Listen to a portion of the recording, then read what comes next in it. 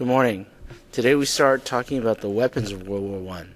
The weapons of World War One are what actually made things different, what actually made uh, things change, and made World War One such a different war, such a different place, and, uh, and so we remember in history. When the war began, people had not fought a war in Europe for 40, 50 years. So most people did not remember what war was like. World War One, though, changed all that. It resulted in massive losses. I mean, the the number of uh, people killed and the number of soldiers uh, wounded was totally different from what anybody had ever seen before. Okay, there were more than 65 million soldiers mobilized for the war. 65 million people on all sides. Out, of those 65 million, over 10 million were killed and over 20 million were wounded.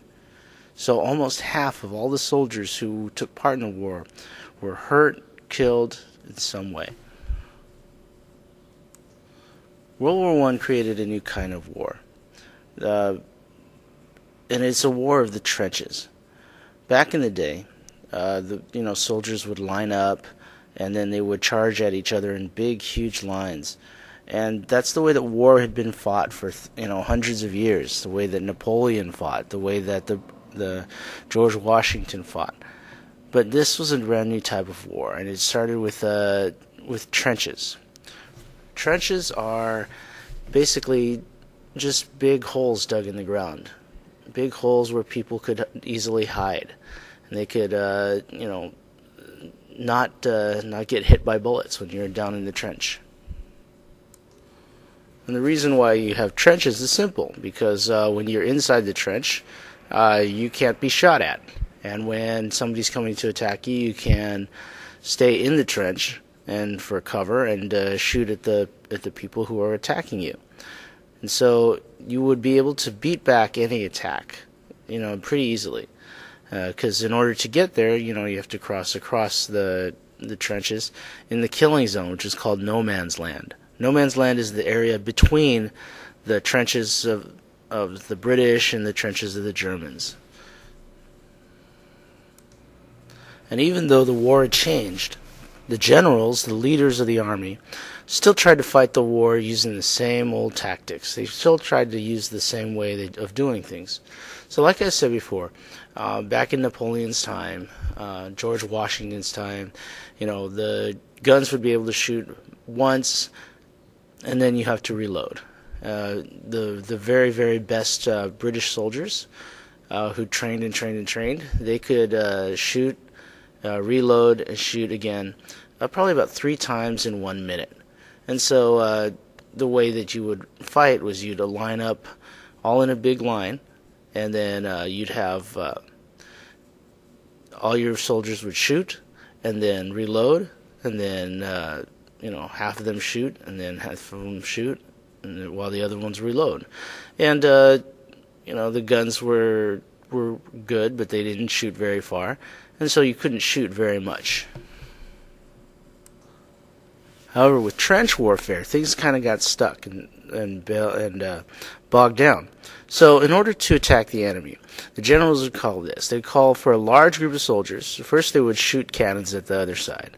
They would bombard it for you know hours, and then they would order the enemy the the soldiers to attack the enemy by jumping out of the trenches and running over toward them and attacking them, you know, shooting them and you know attacking them.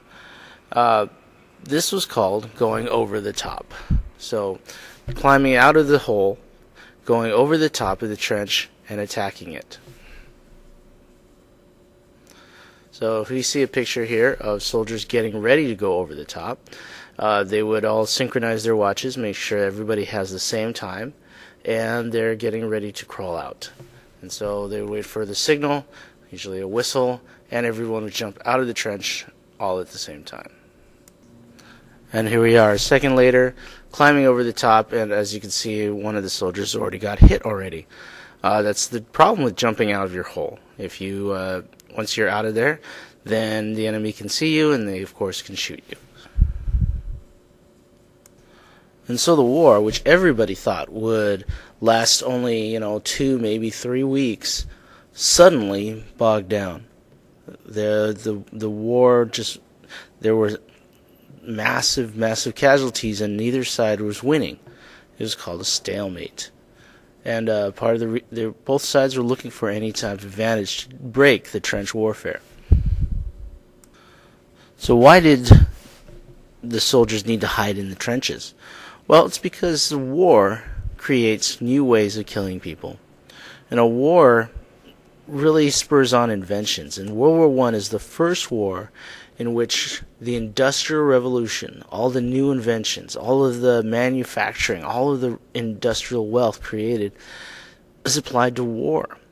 Taking all the machines and saying, what can we do to make war even, well, be even better at war? You know, war is one of those things that really spurs on inventions, really makes people come up with new ideas. And unfortunately, new inventions happen all the time because of war. Uh, take uh, Velcro. Velcro was invented, you know, during the war, during World War II, to you know attach things. The cell phone. The cell phone was developed because of uh, you know satellite technology. Satellites were invented so that uh, well, you could shoot missiles even faster across uh, across the world. The most important invention that really set the tone for World War One was the machine gun. And the machine gun, remember I said that the you know really good soldier uh, before the war could shoot uh, maybe three times a minute because you know you have to shoot and then you'd have to reload and then uh, then you could shoot again. And uh, really, you know, three times a minute is not very fast. Uh, they invented revolvers, you know, little uh, pistols that could shoot six shots, but uh, you know, the revolver can't shoot very far. Now, some of you might have seen movies of cowboys and stuff where they had uh, machine guns, you know, and the there's guns that would like shoot over and over again. There was like six six guns attached in one and uh, those kind of that's called a Gatling gun. It was invented as early as 1862, and uh, people experimented with it. But it wasn't until just before World War One in 1913 that the invention, the war, that the invention of the machine gun was was perfected. Because the well, the guns would overheat and they'd melt and they'd explode and you know they kill the people using them, and that's not very good. So the it wasn't until then that it was perfected and the earliest machine guns they could shoot uh, 200 to 250 rounds per minute. So compare that to one guy shooting, you know, three bullets per, minute, and all of a sudden you have uh, one guy who could shoot 250 rounds per minute, and that's a game changer. That really changes everything. This picture is a German heavy machine gun. It's uh, well, it's heavy. You needed four to six soldiers to operate it. You needed to carry it, to move it around. Uh, it was water cooled. That's what the big invention was. They would use it to cool down the barrel of the gun so that it wouldn't explode, wouldn't melt down, and kill everybody using it. That was the bad thing. The good thing, it would wipe out any frontal assault. Anybody attacking it, you know, even if you got like, you know, 300 soldiers attacking, you know, they'd all be uh, shot very, very quickly. So it doesn't matter how brave or how fast you run, you would still be wiped out by this machine gun. The next invention was, you know, wasn't even invented for the war. It was invented for the farms in the United States as barbed wire. And you guys are probably familiar with barbed wire. It's just wire that has little tiny uh, sharp bits of metal. And uh, it was developed so that when cows come up against it, they feel it. You know, it's got like little needles in it. They feel it, and so they they stop. And you know, it's a really cheap way of creating fencings all over the place. And uh, when it was put to war, it was something that they would that you couldn't sneak past. You know, if you uh, tried to go through it, you'd have to go through very very slowly. Um, sometimes they put like uh, rattles on it so that it would be like an alarm and if you get caught on it, you know you're stuck, and you you know you have to try to try to pick your way out of it. And while you're doing that, you can be you're an easy target for people to shoot you. Now the worst weapon of them all the one that really set World War One apart was poison, poison gas. Now, poison gas is well, it's just that. It's a a odorless, um, you know, cloud that if you breathe it, it would kill or injure you. Uh, part of the, the the what really made it horrible was that you know there was no def- there was no real defense against it. You know, there was uh, the the types of gas that they had. It what it was you'd breathe it in, and it would expand the your lungs. It would make them so big that uh, you couldn't breathe anymore, and you'd suffocate, and you'd suffocate to death. Poison gas is scary. It's one of the scariest types of weapons there are. It's not the most effective, though. You know, it, what you need to do is you need to breathe it in.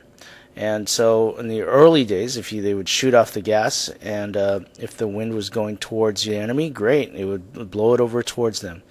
Uh, the problem is if the wind changed, it could blow it back on you. But of course, you know, if you're prepared, there is uh, stuff you could wear. Uh, the gas masks, uh, the ty- types of well, first the two types of gases: mustard gas, which is created from the mustard seed. Uh, think about how when you eat mustard, uh, it's hot, it's spicy, and it causes you to um, your eyes to water.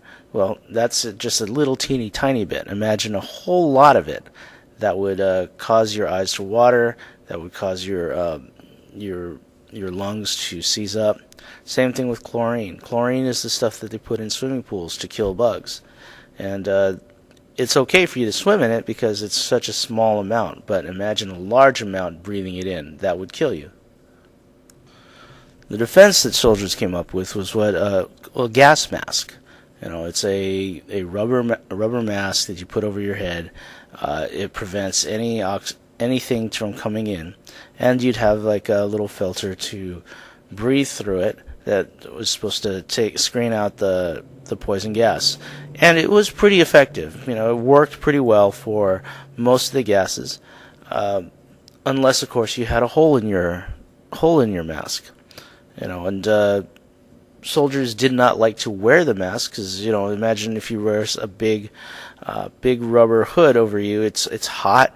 There's no air coming in, so you can't breathe very well and all you can do is see out through the little uh, goggles to the side, so you can't really see very much. And if you're fighting and you can't see, well, you're pretty much dead because you know anybody can sneak up on you. So soldiers only put on the mask when they absolutely had to. And um, if the mask wasn't good quality, then it would have, you know, it would break. Uh, today, you know, people get scared about poison gas. You know, poison gas. Uh, the United States invaded Iraq because uh, the United States thought they had poison gas. Now, of all the weapons of war of the, uh, that would happen, uh, this is the only weapon that was so terrible that after the war, every single country in the world got together and agreed that they would never use poison gas in war again. And when World War II happened, what do you think uh, when World War II happened 20 years later? What do you think happened? That's right. Not a single country used poison gas in war. In fact, the only country that has used poison gas in war since then is Iraq. Iraq was the one used. Uh, Saddam Hussein used poison gas against the Kurdish people in the late 1990s. Now, another invention you might be familiar with is the hand grenade. A hand grenade is basically a small bomb. It's got a little trigger on it, a little pin. You pull the pin, and then you have 10 seconds to throw it, and it'll explode. Uh, that's good because you know you can carry this small bomb around with you, and you could uh, throw it as far as you can, and uh, without you know hopefully not get shot. And it would you know pretty exp- explosive. But of course, if you throw it too soon, then uh, you know whoever you threw it at, they can just pick it up and throw it back at you. The next uh, invention uh, was the tank. Okay, the tank basically is a gigantic car. It's a gigantic car that is built to go over mud. It's built to go over anything, places where there aren't roads. And so the tanks were first invented by the British. Basically, you just put armor on top of a car and uh, well, cars get stuck in the mud though. So how do you do it? Well, you take what we call tracked treads. And tracked treads, well, it's just uh, like a tractor. They are built so that they could go over anything. They could go through it, and uh, well, it's it was really uh, amazing. Here's another. Uh, this is a British tank. Uh, they were big, they were powerful, they were you know armored, so they were basically bulletproof. But uh, and you know you arm it with a big cannon and big cannon in it, and so they could shoot, and it's very mobile. It could move around. Uh, the first tanks, uh, they were big and heavy. They could move about three or four miles per hour, so they were kind of really slow. They broke down too much though, and uh, they came too late to make a difference during the war. Uh, but you know, that will make a difference in the next war because it was the net new newest invention. It was just kind of foreshadowing what things were to come. Airplanes had just been invented.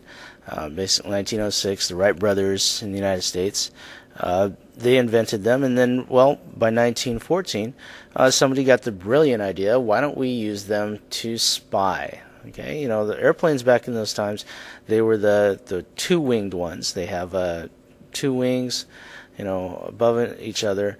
Uh, some of them had three. You know, it's just more stability. Uh, they were used first to just spy on the other side. You know, you'd look down, you'd see where the enemy is, and then uh, you fly back and tell the tell your side where they're at. Well, you know, while they're flying up there, one of them, uh, one guy carried a, a, gun with him, and he started shooting at other people. Pretty soon, they uh, they started carrying hand grenades. Uh, they couldn't carry very much because it's really small planes. Uh, then eventually they put machine guns on them. Uh, the first machine guns, uh, you know, you had a problem because the planes were had a propeller, and if you shoot the wrong time, you could shoot your plane, shoot up your own plane. Until finally somebody figured out, you know, math. You say, how do you shoot, uh, how do you shoot a machine gun through your propeller? Well, it's timing. You know, you know how fast your propeller is rotating. You know how fast your sh- your machine gun can shoot, and so they had uh, using math. They figured out how to shoot through the propeller without damaging your propeller. And of course, pilots, when they had machine guns, started shooting at each other. These were called dogfights. And uh, an ace was a, a pilot who shot down five enemy planes.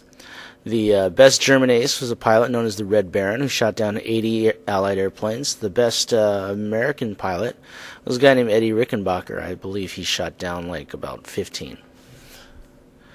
Right? And of course, the pilots were the most famous heroes of the war. They were the ones who got in all the movies and all the comic books and everything, being the the the the dashing heroes that everybody wanted to to be and everybody wanted to see. The last invention we're going to talk about today is the submarine. Submarines are basically boats that can go underwater. And uh, how does a boat go underwater? Well, you know, you just fill up all the, the holes in it so it makes it watertight on the top and the bottom. They have these uh, giant uh, tanks inside the inside the boat that you fill up with water so that it becomes very heavy and it sinks underneath the water. Uh, when you want to come out, you let the the water out of the tanks and it rises back up to the surface. The uh, submarines, you know, people had tried using submarines in war for a very, very long time, but uh, it wasn't until World War One that they perfected them, that they made them big enough to, to that they could go for a very long time, and that they carried uh, torpedoes. Torpedoes are basically underwater missiles that could go through the water, and uh, when it hits, the, they shoot it at a ship. It hit, it hits the ship, and there's a bomb attached to the torpedo. It explodes and creates a big hole in the ship, and so the ship sinks. Now, this, the uh, the British, of course, had the best navy in the world. So the uh, Germans, in order to fight against that navy, they built hundreds of submarines, which are they called U-boats, Unterseeboats. Now, the British had them, the Americans had them, but the Germans were the ones who really, really used them. The uh, what kind of boats did they attack? Well, you could attack, uh, you know, navy ships and everything, but uh, really the most effective was against cargo ships, um, unarmed ships that, uh, you know, full of uh, soldiers or people or uh, guns or um, you know supplies that were being taken to the enemy.